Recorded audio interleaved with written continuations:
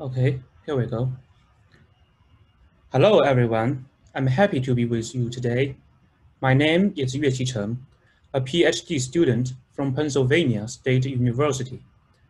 In this talk, I'd like to share with you some outcomes of my recent research work with my lab mate, Zheng Pengling. This talk is about an exploitation approach which can, which can bypass many mitigations in Linux kernel. This approach uses magic objects, which we name as elastic objects. At the beginning of the talk, I will introduce several kernel protections that we are going to bypass, as well as some kernel sensitive data we want to leak. Then I will introduce the exploitation approach using an example. Followed by this, I will show how we track down elastic objects by extending flexible objects in the kernel codebase.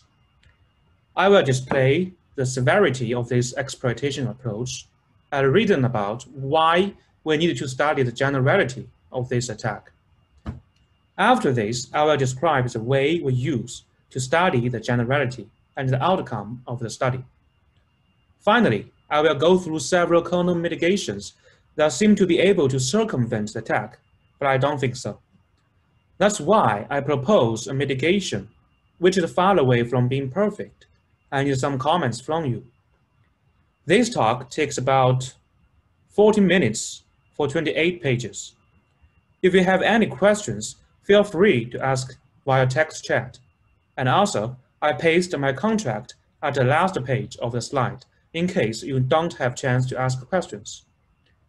I hope you can enjoy the talk and send me your comments so that we can further advance our research. As I mentioned, I will describe several kernel protections that we plan to bypass. The first protection is Stack Canary, which has already been deployed in both kernel and user space program for decades. I'm pretty sure that you are familiar with this protection on Stack. Just in case, I will brief this mitigation. The idea is quite simple. When having a stack buffer overflow, the adversary can overwrite the return address in current stack frame. Later, when the function returns, the function the execution is directed to the malicious address. To detect this overwrite, during the prologue, the kernel places the stack canary, which is several bytes of random value, right below the return address and old EBP. During the epilogue, the kernel tests the canary on stack against the one start to see if any corruptions happened. If stack buffer overflow is triggered, the stack canary is tempered before the return address. Thus, when the kernel finds a mismatch between the canary on stack and the one start, this means stack corruption has happened, and the return address is no longer trustworthy. The stack canary is now by default a mitigation in almost all Linux distros, including Ubuntu and Debian. It is also used in other operating system kernel like FreeBSD and XMU. To bypass this mitigation, the adversary either uses brute force method or relies on information leaking. The brute force method is to guess the canary byte by byte, which reduces the complexity from 64 over 2 to 8 over 2 on the big O. Information leaking is another approach in which the adversary can leak the canary to user space. One of my previous works is to use IP control to perform stack leaking. In this talk, I will show how I use write primitive to obtain a leak primitive for exposing the stack canary.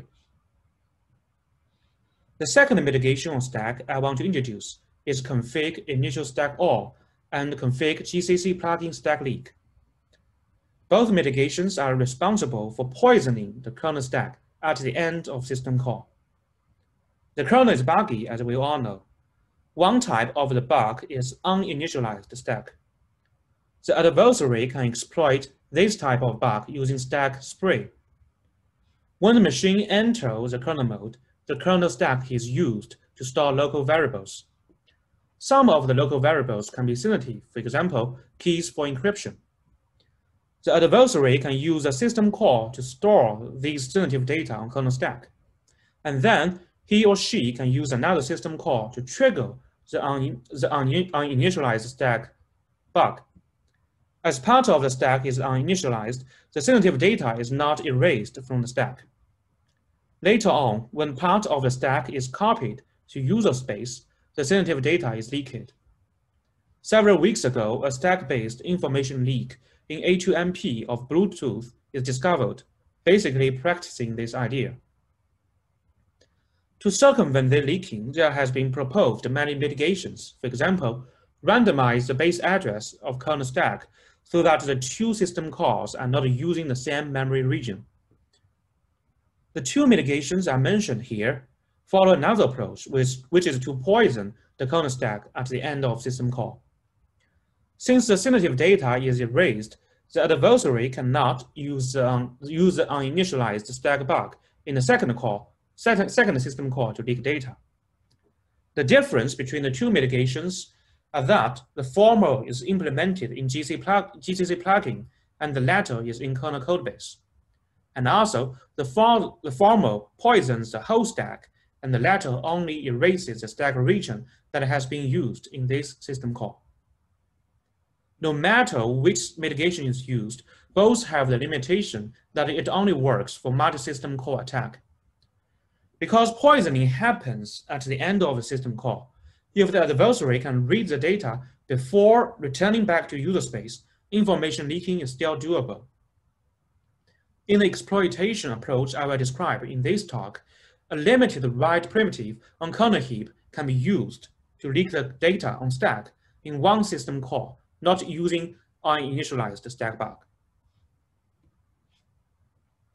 On slab and slab, one of the mitigations are config slab freelist hardened.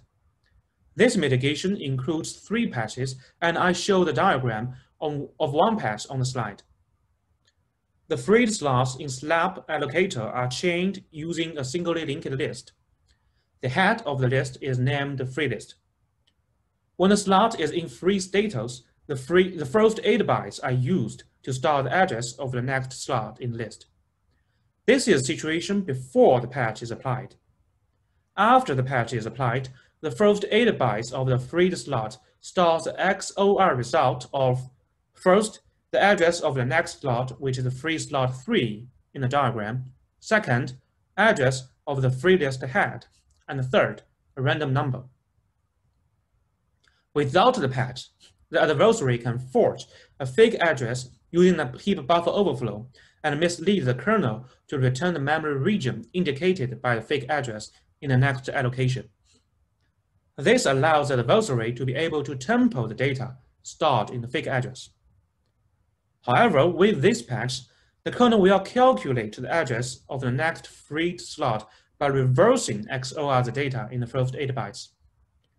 Even if the adversary can forge the data using the heap buffer overflow, the calculated address is not what the adversary wants. This is because the random number is involved in the, in the calculation. According to one study early this year, the entropy of the hardening is very low, and thus forging an address is possible. As a complement in the exploitation approach I will describe in this talk, the first 8 bytes after XOR can be leaked with a limited write primitive on kernel heap. The leaked 8 bytes can then be used for forging. I will call the 8 bytes as a heap cookie in the following slides. Another mitigation on slab slab is a pair of config initial on alloc default on, which is known as initial on alloc, and config initial on free default on, which is known as initial on free. These two mitigations share some similarities with the stack poisoning we've discussed in the previous slides. Like a kernel stack, the heap object encloses sensitive data, like function pointer and keys for encryption.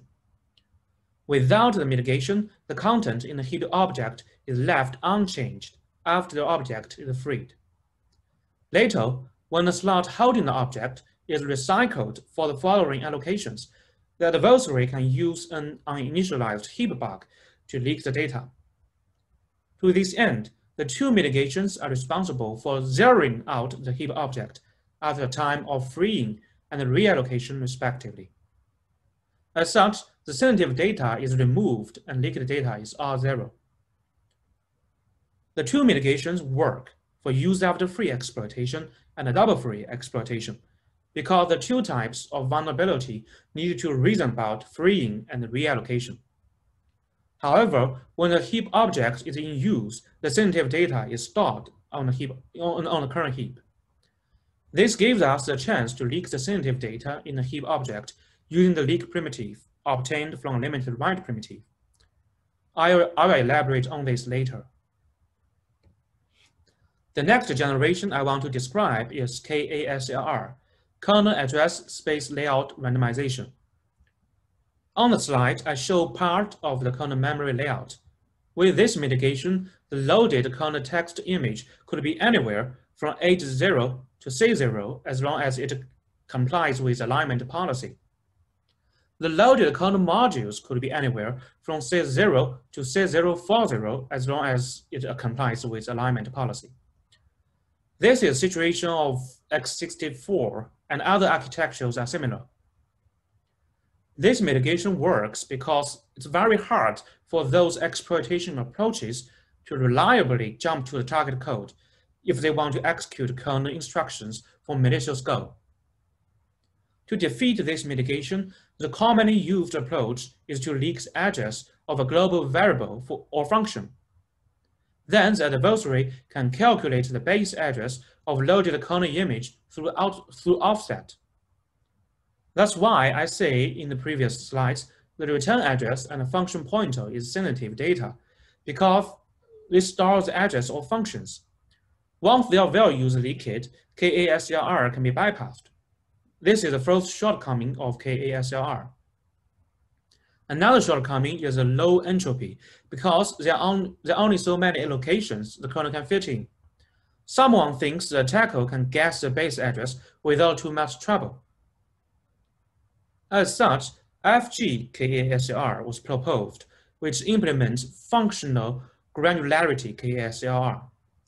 I cannot go into details of this mitigation today because it is still in development. The main idea is to randomize the address of functions when loading the kernel image. The entropy is much higher in this granularity, and one leaking is far away from being enough to defeat this fine granularity mitigation.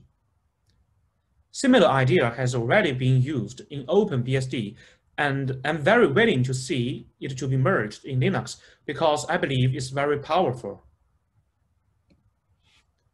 On this page, I list two types of sensitive data that can be leaked from kernel according to Andrew Konovalov's exploit.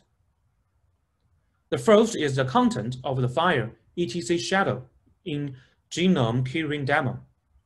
This file stores the hashed value of the user's passwords. The adversary can use hash collision to reverse engineer the hashed value and obtain the password. The owner of this file is root, and the group is shadow. With the leak primitive, the adversary can scan the physical memory to search for the pattern because the first entry of the file is always for root and loaded to the beginning of the page. The second is the interrupt descriptor table. When interrupt happens, the kernel will jump to the interrupt procedure for further process. The offset to the procedure entry is stored in the table. If the adversary can leak the offset, he or she can calculate the base address of loaded kernel image and thus bypass KASLR. There are many other types of sensitive data in kernel. Due to the time limit, I cannot enumerate them, and I'm very happy to learn more. The exploitation approach I want to describe today is not a new attack. It's used in Pong2On 2017 for CVE 2017-7184. In the exploitation of this vulnerability, the attacker uses a flexible structure named transform replace state ESN. As shown in the diagram on the slide, this structure has two fields. One field is bitmap length which is an integer, and another is bitmap, which is a buffer. The length of bitmap is determined dynamically and indicated by bitmap length. When kernel uses a structure, it obtains the length of bitmap from bitmap length. To do the exploitation, the attacker performs heap feng shui and places transform replace replaced ESN right after the vulnerable object. Then the attacker triggers heap buffer overflow to overwrite bitmap length. The bitmap length is enlarged and misleads the kernel to believe the size of bitmap is larger than actual size. Later on, when the receive message system call comes, the content in the bitmap is copied to user space via netlink put function.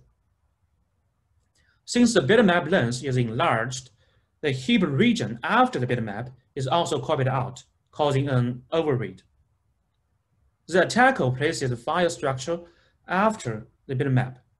The file structure has a function pointer field named FOP, which points to a static variable ext4 file operations.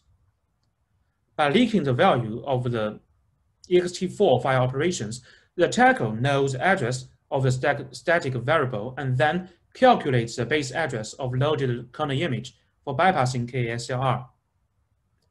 The flexible object has two, uh, two advantages in exploitation. One is its ability to leak data. Another is the size of the object is determined dynamically, so it can be allocated to several general caches to be paired with vulnerable object and victim object. We've talked about standard flexible structure, uh, yes, which has a length field and an adjustable buffer at the end of the structure. Elastic object is extended from flexible object. On the right side of the slide, I displayed three ways of extension. The first way is to have a large buffer, have a large buffer defined in the middle of a data object. A length field within that object indicates the actual buffer size, or more precisely speaking, the actual bytes used for storing data. At the time of defining the actual number of bytes used for storing data, kernel typically examines the length field and ensures it doesn't go beyond the boundary of the large buffer.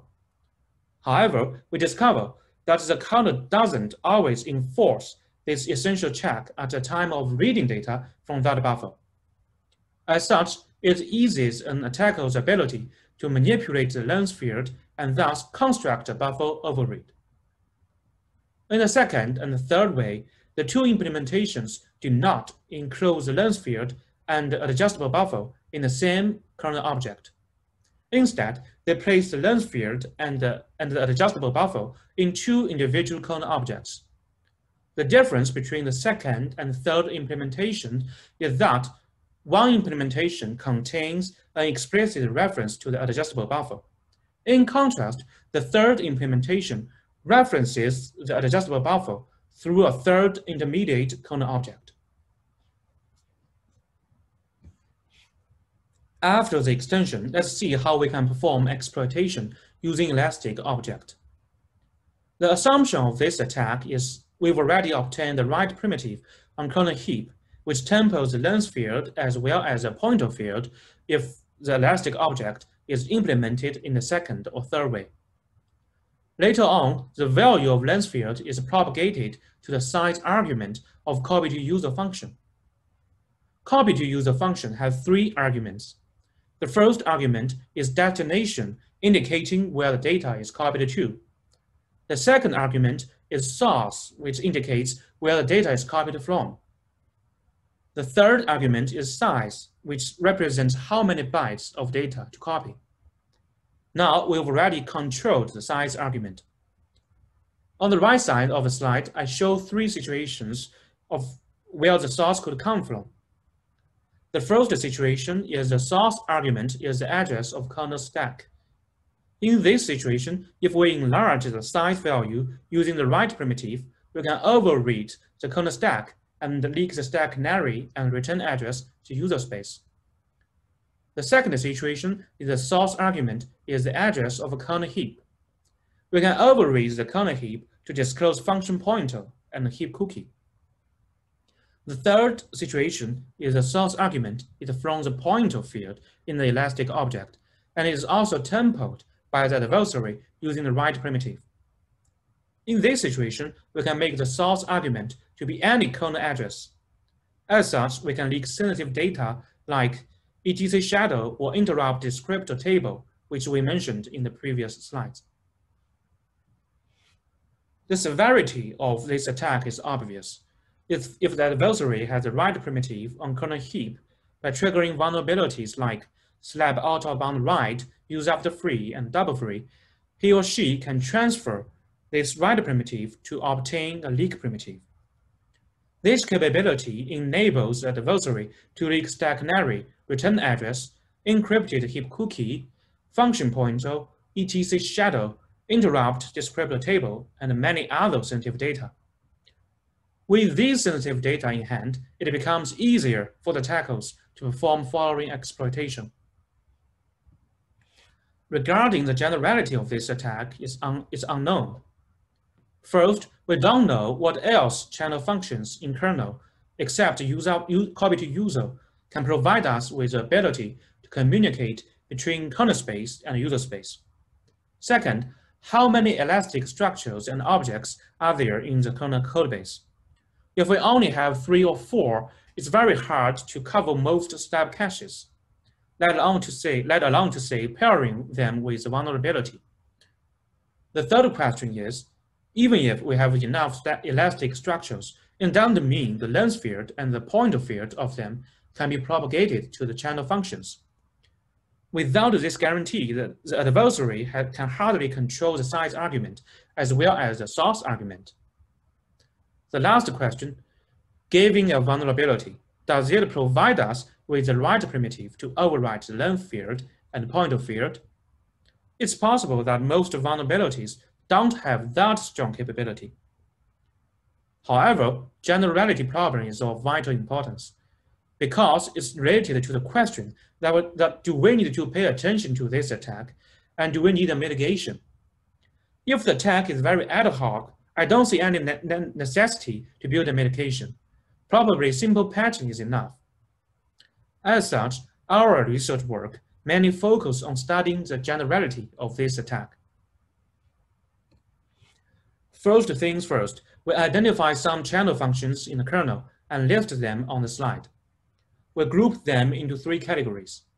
The first category is memory copy API, which is copied to user. The second one is specific to netlink socket, which is networking between, between kernel space and user space. To use this functionality requires the capability of network admin, which is granted in the user's namespace. Take netlink put function as an example. Attribute length, which is highlighted, highlighted with underline, is a size argument, and the data, which is in bold, is source argument. The, two, the third category is gen general networking. For example, uh, SKB put data, in which length is a size argument, and data is a source argument. Some channel functions are the combination of two functions. For example, in netlink, the return value of netlink mastic data is a source argument, which is later used in memory copy function. The size argument is count in memory copy. No matter what the function prototypes are, all of, all of them have a source argument and a size argument. Our analysis begins from these channel functions. The first step in our static analysis is to identify the leaking anchor which is invoking to channel functions. I use red to represent source argument and green for size argument in the channel function. The second step is to check where is this length from. In the diagram, the length is from a structural variable named U, U payload. Its type is user, uh, is user key payload. The third step is to check where is the source from. In the diagram, the source is the return value of kmalloc. The type of the source is user key payload 2. We can clearly see the source and the length are from the same structure type. Besides, we can learn that this structure variable is on the heap because it is, it is generated through allocation. What's more, user key payload is a standard flexible structure because its size is a constant plus a variable. The offset of length field and the adjustable buffer can also be tracked down. Through above analysis, we can learn which slab cache is responsible for holding the object. The last step of the analysis is, is to collect the constraints along the path from the encode retrieving length to the encode that leaks data. We do this examination because we want to see whether the kernel enforces the checking of lens field's legal value range. If the kernel says the lens cannot be too large, the leaking probably doesn't work. In the example on the slide, the kernel only ensures that the user-controlled parameter buffer length is larger than the data length. Therefore, this checking doesn't influence the, the data leaking. Finally, we obtain a record for each identified elastic structure. We know the structure name, the cache holding the object, the offset of the length field and pointer field, allocation sites, leaking sites, as well as all the types of sensitive data can be leaked. In total, the static analysis tracks down 49 elastic structures in default configuration. We use kernel fuzzing, and manual analysis confirmed 38 of them. We list these structures here. In the table, the first column represents which cache the object can reside in. The second column is the structure's name. The third column is the offset of length field and pointer field. The fourth column is what sensitive data can be leaked. The fifth column is the privilege required to operate the object. The last column is the path constraints. To sum up, most general caches are covered by identified structures. Note that the number 36 and 38 are for structures, not objects. If we count the number in objects and program sites that use the objects, the statistics, statistics can be thousands. From this perspective, the elastic objects are pervasive in kernel codebase. We used 31 vulnerabilities to examine what we can do using elastic objects. The results show that 23 vulnerabilities is enabled with KASLR bypassing and heap cookies leaking. 12 of them can leak stack canary and 5 of them can perform arbitrary read. Thus, I want to draw the conclusion that elastic object attack is general in Linux kernel.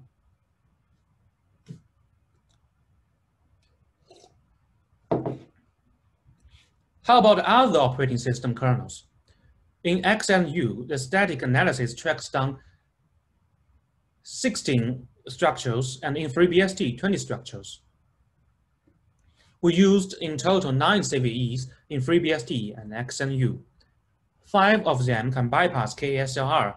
Three of them can leak heap cookies because FreeBSD doesn't have heap cookie. Three of them can perform arbitrary read. It seems elastic object attack is an issue not only in Linux, but also in FreeBSD and XNU. To mitigate this elastic object attack, there are several mitigations in the Linux kernel that seems work, but I don't think so. Let me tell you why. The first potential mitigation is free list randomization. Without this mitigation, the freed slots are chained in the list linearly. This means the freed slots are physically continuous. With this feature, the adversary can predict the slab layout and perform stable heap function. With this mitigation, the freed slots are shuffled when kernel, when kernel creates slab cache. Thus, the order of freed slots are randomized. In this way, the adversary cannot predict the slab layout and it's harder for he or she to exploit slab out-of-bound write vulnerabilities. The limitations of this mitigation are first, it has no effects on use after free and double free exploitation. This is because the exploitation of these two bytes doesn't require to predict the slab layout. Second, there are many, second, there are many bypassing techniques against this mitigation. For example, heap groom, which is to first allocate the bunch of placeholder objects and the victim object. Then the adversary frees the placeholder objects and leaves holes on heap. After this, he or she can allocate the vulnerable object to the holes to perform heap function. Another technique is the free list reversal. Due to the time limit, I, can, I will not elaborate on this because more details can be found online. The second potential mitigation is config GCC plugin random structure. This mitigation tries to randomize the order of fields in the structure at the compilation phase. It prevents attackers from predicting the offset of sensitive data within the structure. Take the structure on the slide as an example. The attackers want to override function pointer, the function pointer field initial to hijack control flow. Without the randomization, the offset of initial field is fixed and predictable. With the randomization, the initial field is shuffled to another order. Thus, the override doesn't always work. As such, this mitigation seems a threat to the attack. However, I want to say that this defense relies on random seed to perform randomization, and the protection of this seed is not trivial. For example, Linux distros have to expose this random, randomized random seed to their users for building third-party kernel modules. This is because the third-party kernel modules need to know how exactly the structure is defined after layout randomization for using these structures. The mitigation works well in house building kernel if the random seed can be protected appropriately. But for distros like but for distros like Ubuntu and Debian, it's not very practical. The last potential mitigation is config hardened user copy, which is imported from PaX user copy. This mitigation examines the size argument of, use, of copy to user. If the source argument is a kernel stack address, this defense ensures that the size argument is smaller than the frame size. Only data in the current stack frame can be copied out. If the source argument is a kernel heap address, the defense ensures that the size argument is smaller than the slot size. Cross slot overread is disallowed. The similar mechanism is also used in XNU kernel. While this technique can mitigate the threat of some, of some elastic objects, it suffers from two problems. One of the, on the one hand, it only enforces the length checking for, use, uh, for copy to user. Other critical, critical kernel functions for data transferring are not included. On the other hand, the legit length range is not restricted enough. The sensitive data can reside in the cache slot for uh, can reside in the cache slot or stack frame. It's still possible to leak them even after the mitigation is, is enforced. According to our discussion in the previous slides, there are now no mitigations in the kernel that can perfectly neutralize the threat of elastic objects. To this end, we propose a new defense mechanism. This mechanism isolates elastic objects that we identified into individual shadow caches. To be specific, we create an isolated shadow cache for each general cache during kernel boot up. Using shadow caches, we store elastic objects with the corresponding sizes. For example, the elastic object, of object originally allocated in kmalloc 96 will be assigned in kmalloc isolate 96 after the isolation mechanism is enabled. To support this isolation, we modify the kernel source code by, by adding one more flag at allocation site. This flag specifies that the object to be allocated is an elastic object and should be placed and should be placed in the shadow caches. With the isolation mechanism, an adversary has little chance to leverage the vulnerability tied to other objects to manipulate the length field and pointer field in elastic objects. Besides, common heap spray objects and kernel objects with sensitive information like function pointers are also isolated from the elastic objects. They could not be used for heap feng shui and spraying. Several weeks after I submitted this presentation, I learned from grsecurity that they have implemented more advanced isolation in their new defense named AUTOSLAB. AUTOSLAB is much more aggressive in heap object isolation. Although I don't know more details about the AUTOSLAB, I'm pretty sure that its security improvement is very significant. We evaluated the performance overhead of our proposed mitigation. we used three sets of benchmarks. The first set is micro benchmarks from LMbench, which test the latency and bandwidth of common system calls and uh, I.O. operations. The second set is macro benchmarks from Phoronix test suite, which runs five real-world applications. To prevent the overhead from being hidden behind the sophisticated code execution, we especially designed a third set benchmark to stress test the impact of our mitigation approach. This set of customized benchmarks uses the system call sequentials to reach elastic object allocation and corresponding data leakage intensively. Overall, we could observe that the performance overhead is negligible, with average performance drop less than, less than 1%. We also evaluated the security of our proposed mitigation approach by using 31 vulnerabilities that were used to study the generality of elastic object attack. For most vulnerabilities, we cannot find elastic objects that can be used for exploitation. This is because the elastic objects and vulnerable objects are mostly different. They are isolated into, into two caches. There are no longer a possibility to use vulnerable objects to manipulate the lens field of an elastic object. For vulnerable objects in CVE 2017-7184 and CVE 2017-17053, there are also elastic objects allocated in the shadow caches. Technically, they can be leveraged to override data in the isolated caches and thus manipulate the length field of an elastic object for data disclosure.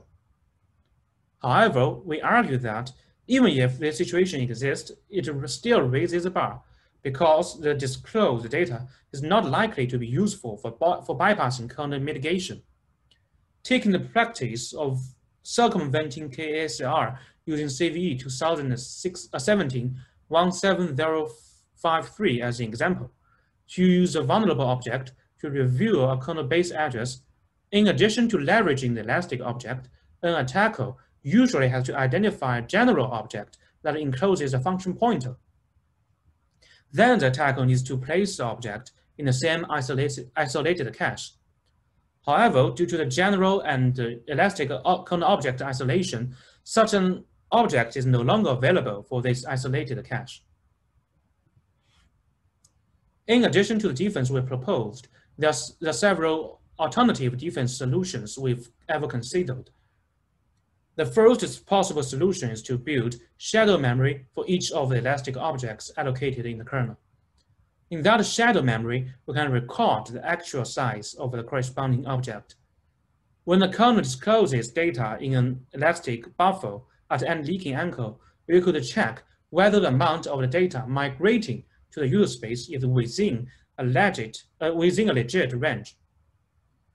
Since the construction of shadow memory inevitably introduces memory and performance overhead, the key challenge of this solution is to develop a, a lightweight method to minimize overhead in a systematic method. Another possible solution is to design a mechanism to enable the integrity check for the data in the lens field. We introduce a checksum field. When the kernel allocates a corresponding object and, and initializes length field, we could encrypt the lens value and store it in the checksum field accordingly.